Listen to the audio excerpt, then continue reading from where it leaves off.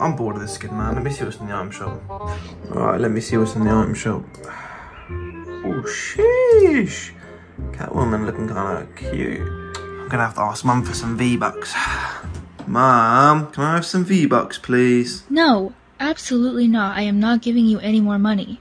Oh, please. No, and that's final. You asked me oh. again, and I'm taking away your stuff for good. Oh. Not fair.